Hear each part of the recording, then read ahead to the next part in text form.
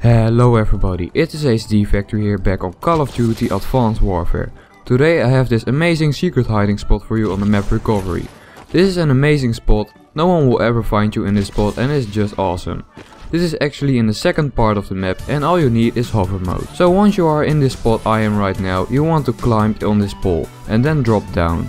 Then you want to hover as fast as possible and you can fly to this little barrier on this side of the map. There is actually a big barrier when you can move on and you are simply unfindable.